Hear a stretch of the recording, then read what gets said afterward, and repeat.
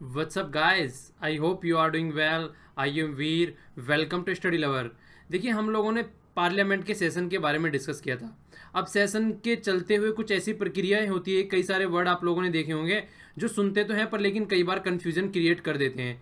ये लेक्चर देखने के बाद में कि एडजन मोशन क्या होती है लैंग्वेज क्या यूज़ किया जाती है, क्या एडजन साइन एडाई होता है कोरम क्या होता है डिजोल्यूशन क्या होता है, ये सारे वर्ड आप लोगों के माइंड में जो भी कन्फ्यूज़न है इससे रिलेटेड वो सब हट जाएगा इस लेक्चर को कंप्लीट करने के बाद में।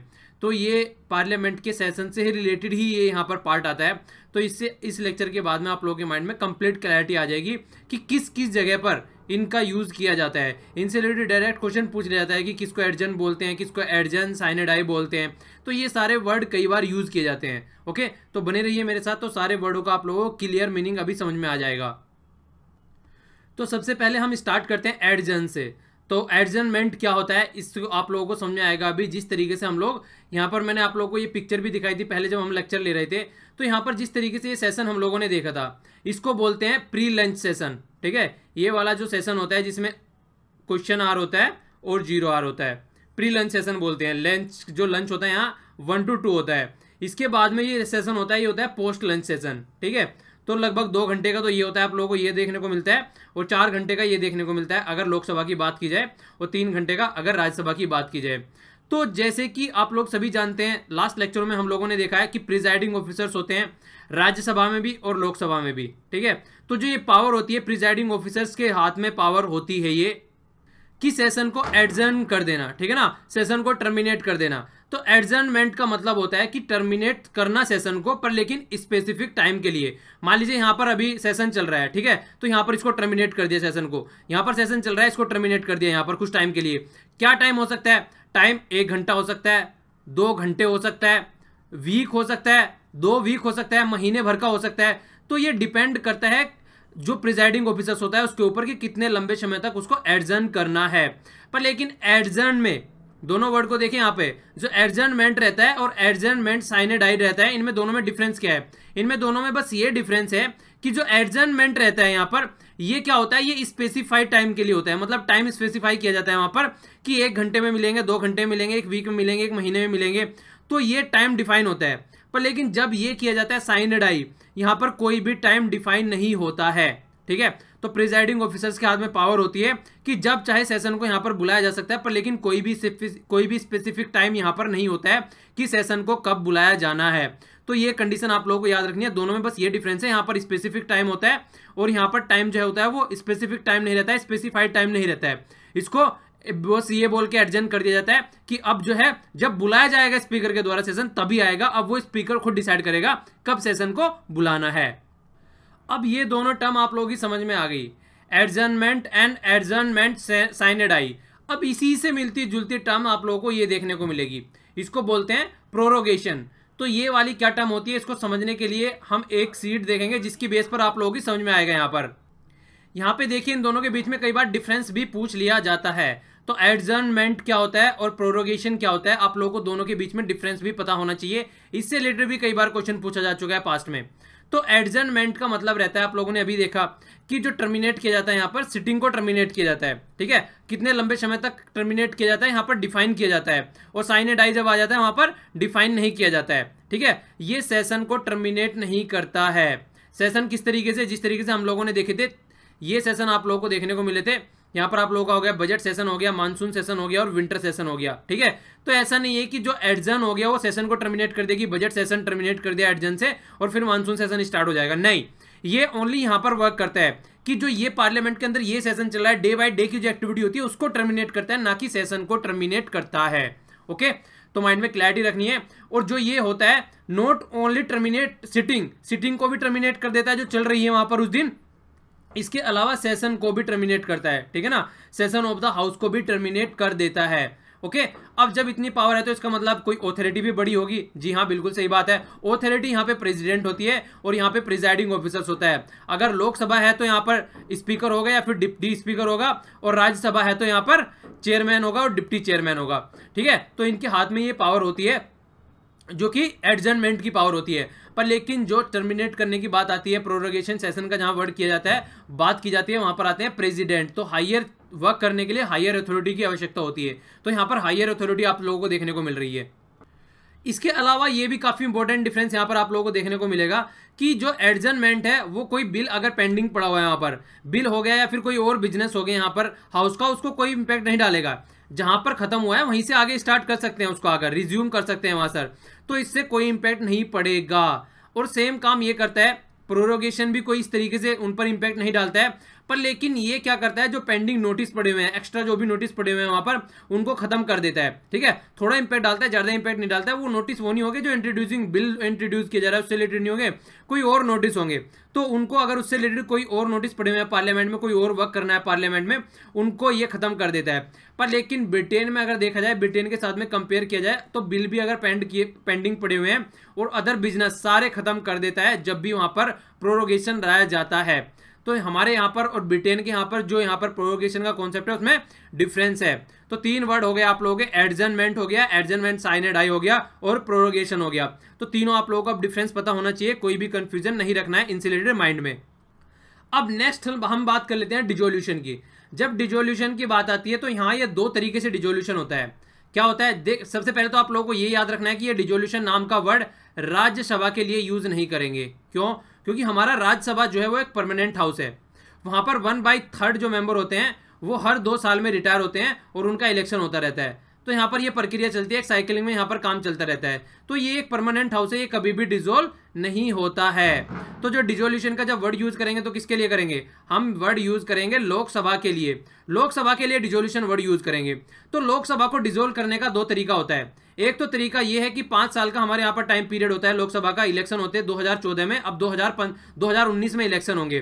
तो 2019 में जाके डिजोल्व हो जाएगी लोकसभा। वो नेचुरल डिजोल्यूशन हो गया। एक डिजोल्यूशन होता है कि प्राइम प्रेसिडेंट के द्वारा अपने आप डिजोल्व कर देना बीच में ही, बीच में ही उसको। ठीक है? या तो मेजोरिटी ना होना। ठीक है? पार्ले, उसमें लोकसभा में मेजोरिटी ना होना या फिर और कोई रीजन होने की वजह से प्राइम मिनिस्टर सजेस्ट करे एडवाइस करे, या काउंसिल ऑफ़ मिनिस्टर आप लोग बोल सकते हैं एडवाइस करे प्रेसिडेंट को कि इसको डिजोल्व कर दो बिफोर टाइम पीरियड के ही। तो उस टाइम पर भी इसका डिजोल्यूशन किया जाता है। तो ये दो तरीके होते हैं लोकसभा के डिजोल्यूशन करने के। तो यहाँ पे जब डिजोल्यूशन होता है तो जो भी वर्क पेंडिंग पड़े रहते हैं, वो सारे यहाँ पर खत्म हो जाते हैं। बिल विल जो भी यहाँ पर पड़े हुए हैं, वो सब साइड में यहाँ पर हो जाते हैं, पर फिर भी कुछ आप लोगों को पोर्सन यहाँ पर देखने को मिलेगा, जो साइड में नहीं होता है। ओके वो क्या होते हैं वो आप लोग थोड़ा समझ लीजिए माइंड में क्लैरिटी आ जाएगी। देखिए, एक साइड में हो गया यहाँ पर लोकसभा, जिसको हम लोअर हाउस भी बोलते हैं। दूसरी साइड में यहाँ पर हो गया राज्यसभा, ठीक है ना, जिसको हम अपर हाउस बोलते हैं। तो मान लीजिए कोई बिल है, जब इसको डिजोल्व कर दिया गया लोकसभा को तो कोई बिल का क्या होगा? अगर कोई बिल पेंडिंग पड़ा हुआ है तो अगर कोई बिल ओरिजिनेट लोकसभा में हुआ है और लोकसभा में ही वो पेंडिंग पड़ा हुआ है तो वो बिल जो है वो डिजोल्व हो जाएगा। मतलब जब नया सेशन आएगा लोकसभा का, उसमें उसका कोई मतलब नहीं होगा यहीं पर ही खत्म हो जाएगा।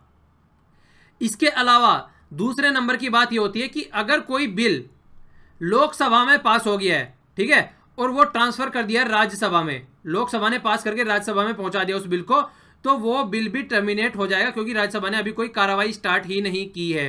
तो ये दो केस आप लोगों को देखने को मिलेगा जिनमें टर्मिनेट हो जाता है, अगर डिजोल्यूशन हो जाता है हाउस का। इसके अलावा अब क्या केस देखने को मिलेगा? तीसरा केस क्या हो गया?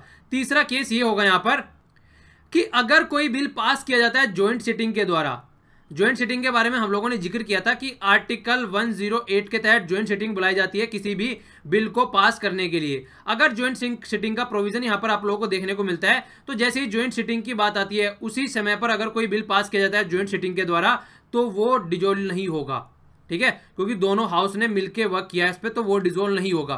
तो ये मेहनत का काम था, इसलिए यहाँ पर इसको डिजोल्व नहीं किया जाएगा। अब दूसरी साइड में देख लेते हैं। अगर कोई बिल पेंडिंग है राज्यसभा में, ठीक है? राज्यसभा में बिल पेंडिंग है तो वो बिल भी यहाँ पर आप लोगों को डिजोल्व नहीं मिलेगा। तो राज्यसभा के केस में ऐसा क्यों होता है कि बिल पेंडिंग है राज्यसभा में, और लोकसभा में भी सेंड नहीं किया गया, पर वो लैप्स नहीं होता है? क्यों? क्योंकि राज्यसभा जो है वो एक परमानेंट हाउस है। ठीक है ना? लोकसभा की तरह नहीं है, वो डिजोल्व हो जाता है तो परमानेंट हाउस है, इसलिए यहाँ का बिल जो है वो लैप्स नहीं होता है। तो ये आप ये रीजन रख सकते हैं बैकग्राउंड में इसको याद रखने के लिए। इसके अलावा, दोनों हाउस में अगर बिल पास हो गया है, राज्यसभा में भी पास हो गया है और लोकसभा में भी पास हो गया है, और प्रेसिडेंट के साइन के बिना अभी बचा हुआ है तो ये बिल भी जो है लैप्स नहीं होता है। क्यों लैप्स लैप्स क्यों नहीं होता है? क्योंकि दोनों जगह से पास हो चुका है, बस प्रेसिडेंट के साइन इस पर रिमेनिंग है।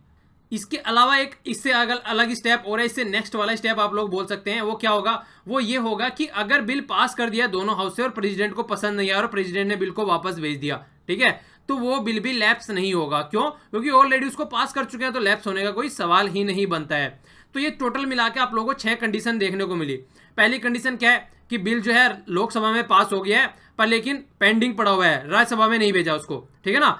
तो एक तो वो लैप्स हो जाएगा। इसके अलावा बिल लोकसभा में ये अभी पास भी नहीं हुआ है। वो लैप्स हो जाएगा। ठीक है तो दो तो लैप्स की कंडीशन है और चार बिना लैप्स की कंडीशन है। वो क्या है? एक तो ज्वाइंट सिटिंग के द्वारा पास किया जाता है। वो लैप्स नहीं होगा। दूसरा, राज्यसभा में पास हो गया लोकसभा में भेजा गया है। वो लैप्स नहीं होगा। इसके अलावा प्रेसिडेंट के द्वारा साइन किए बिना बचा हुआ है कोई बिल। वो लैप्स नहीं होगा और प्रेसिडेंट ने अगर रिटर्न कर दिया है बिल को लोकसभा में ठीक है ना? तो वो भी लैप्स नहीं होगा।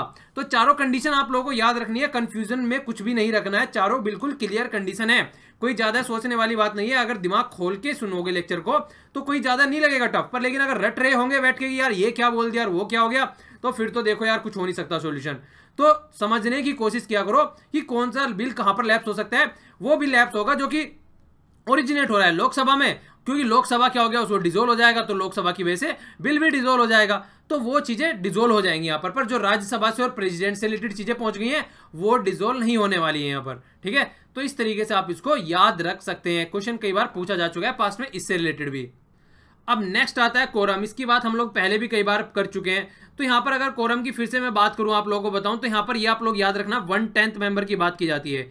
जब वन टेंथ मेंबर होंगे हाउस में, तभी उसकी मीटिंग स्टार्ट होगी। जो ये मीटिंग मैंने आप लोगों को यहाँ पर दिखाई थी लोकसभा या राज्यसभा की, जब यहाँ पर वन टेंथ मेंबर आएँगे तो वन टेंथ की अगर बात की जाए तो पचपन मेंबर हो जाएँगे लोकसभा में, ठीक है ना? और पच्चीस मेंबर हो जाएँगे राज्यसभा में।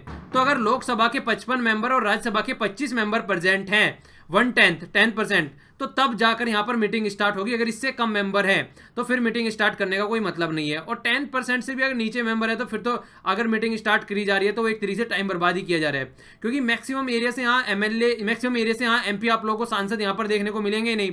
तो उसको एक तरीके से टाइम पास ही बोला जाएगा यहाँ पर, ठीक है? तो इसीलिए कोरम रखा गया कि मिनिमम इतने तो होने चाहिए ही चाहिए, अगर बिज़नेस कंडक्ट कराना है लोकसभा का या फिर राज्यसभा का।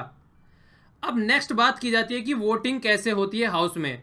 तो वोटिंग कैसे होती है? देखिए, जो भी कोई बिज़नेस होता है लोकसभा का, जब यहाँ पर रखा जाता है सामने प्रिजाइडिंग ऑफिसर्स के द्वारा तो उससे पूछा जाता है यहाँ पर मेंबरों से कि आप क्या चाहते हैं, ठीक है? तो एक तो वर्ड होता है, यहाँ पर यूज़ किया जाता है आई ठीक है ना? ए वाई तो इसका मतलब होता है सदा मतलब यस ठीक है ना?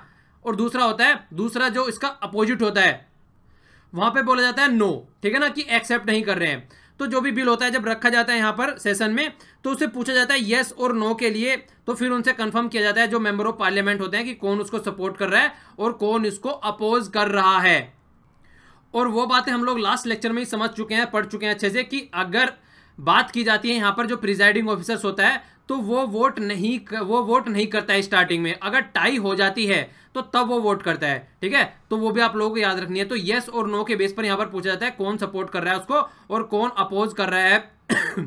सॉरी उसको बिल को जो रखा गया है, जो भी पार्लियामेंट में जो लोकसभा में जो भी बिल रखा गया है। तो उसके बारे में यहाँ पर बताया जा रहा है। इस तरीके से यहाँ पर वोटिंग होती है, पूछा जाता है। ये भी पूछा जा सकता है कि खड़े हो अपने उस पर बताने के लिए कि हाँ जो सपोर्ट कर रहा है, वो कर रहा है। ये स्पीकर के ऊपर डिपेंड करता है यहाँ पर। ठीक है ना? तो येस और नो में जवाब देना होता है नॉर्मली मेंबर ऑफ़ पार्लियामेंट को। अब ये वाला पॉइंट है लैंग्वेज इन द पार्लियामेंट तो ये तो बिल्कुल आप लोग बोल सकते हैं कि लड़ाई की जड़ या फसाद आप लोग इसको बोल सकते हैं। क्योंकि यहाँ पर जो हमारे कॉन्स्टिट्यूशन मेकर हैं, उन्होंने बोला था 1950 में कि अभी हम हिंदी और इंग्लिश दोनों यूज़ कर सकते हैं। पर लेकिन जो इंग्लिश है, वो 1965 के बाद में कंटिन्यू नहीं करेंगे, उसको बंद कर देंगे। 1963 का जो एक्ट आया, बात ये निकल के आई कि ऐसा कुछ भी देखने को नहीं मिल रहा है कि इंग्लिश को डिसकंटिन्यू किया जाए और फिर से इसको कंटिन्यू करा गया और आज तक भी कंटिन्यू चली आ रही है। क्यों? क्योंकि आप अपनी कंट्री में खुद देख सकते हैं, कुछ ऐसे एरिया हैं जहाँ पर हिंदी समझ में ही नहीं आती है। आप लोग देख सकते हैं नॉर्थ ईस्ट वाला कुछ पोर्सन है, या फिर आप लोग साउथ वाला पोर्सन देख सकते हैं। तो कुछ ऐसे एरिया हैं जहाँ पर हिंदी नहीं समझते हैं। तो इंग्लिश को कंटिन्यू रखना कंपलसरी हो गया, और बोला तो गया था कि पंद्रह साल के बाद में इसको बंद कर देंगे। पर लेकिन आज तक भी जो है हिंदी और इंग्लिश दोनों चली आ रही है। खासकर फोकस किया जाए इंग्लिश पर तो इंग्लिश चली हुई आ रही है, जिसको डिसकंटिन्यू करना था। तो आज की डेट में भी हम इंग्लिश को कंटिन्यू करे हुए हैं। तो ये बात भी आप लोगों को क्लियर होनी चाहिए माइंड में। तो एक्ट याद रखिएगा यहाँ पर, ठीक है ना? 1963 जो एक्ट था, उसके तहत इसको फिर कंटिन्यू कर दिया गया।